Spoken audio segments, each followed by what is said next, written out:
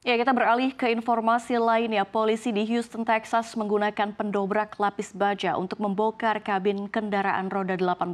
Aksi ini dilakukan imbas pengemudi menolak untuk turun dan negosiasi berjam-jam gagal.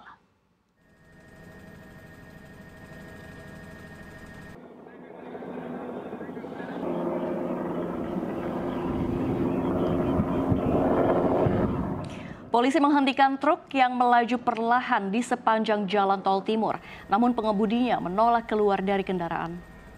Menggunakan kendaraan berat yang dikenal sebagai benteng, polisi merobek jendela kabin dan pintu samping penumpang serta menggunakan anjing polisi dan tabung gas agar pengemudi menyerah.